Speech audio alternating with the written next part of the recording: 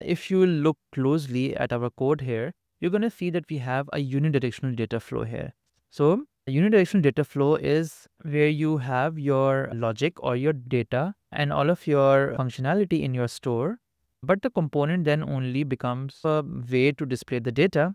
So it becomes a dumb component. So basically it gets all of its data or st state from your store and then it calls functions to update the store. So if you look at your component now, you can see that in the component, we're actually not doing anything. There's no functionality. But as you can see, we have the store and we have the category input. So we're getting the input and we are sending that input to the store.